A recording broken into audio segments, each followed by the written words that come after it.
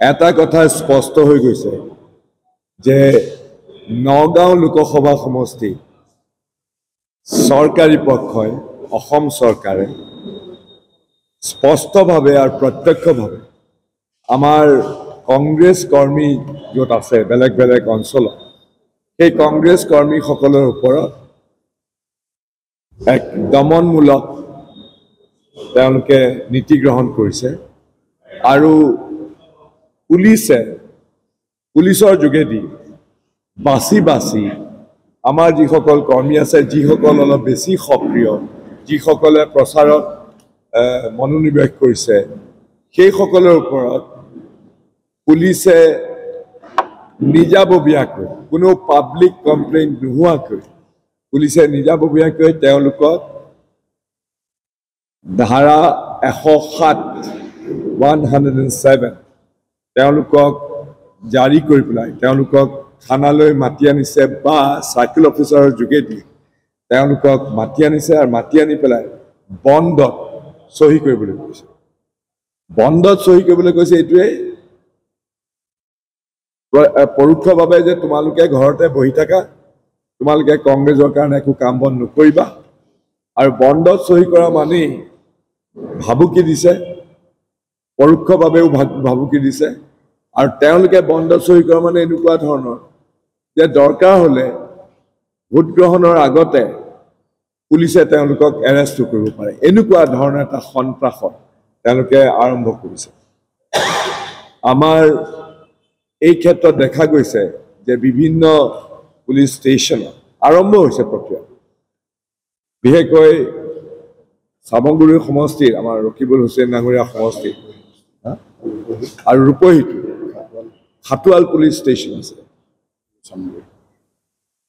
মই উদাহৰণটো দিছোঁ খাটোৱাল পুলিচ ষ্টেচনৰ যিজন ইনচাৰ্জ পুলিচ অফিচাৰ মাতি মাতি আনি পেলাই ধমকি দিবলৈ আৰম্ভ কৰিছে। এনেকুৱাও ঘটনা হৈছে যে ৰাতি আৰু ৰাতি বিশেষকৈ আমাৰ সংখ্যালঘু অধ্যুষিত অঞ্চলত ৰাতি পুলিচ গৈছে গৈ পেলাই মাতি আনিছে যিসকলে কংগ্ৰেছৰ সক্ৰিয় কৰ্মী। মাতি আনি পেলাই থানাত কৈছে যে তোমালোকে বিজেপি দলত যোগদান কৰা।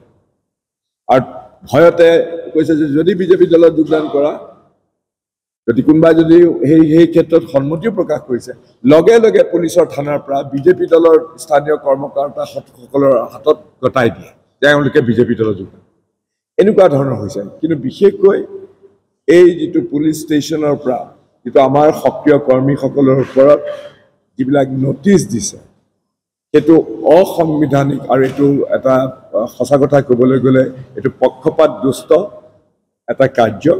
সেইকাৰণে আমাৰ এজন আমাৰ সক্ৰিয় কৰ্মী আমাৰ আমাৰ আমাৰ এই এইটো যে পুলিচে যে এইটো কৰিছে পুলিচে কৰাৰ কাৰণে আমাৰ এজন সক্ৰিয় কৰ্মী মহম্মদ আব্দুল মালিক মালেকে এটা চৰকাৰৰ এগেইনষ্ট এটা হাইকোৰ্টত কেছ দিছে যে অন্যায়ভাৱে অনাহকতে কোন কাৰণ নোহোৱাকৈ এই যে section one hundred and seven যিটো দিছে তাক চেলেঞ্জ কৰি পেলাই হাইকোৰ্টত এটা কেছ দিছিলে।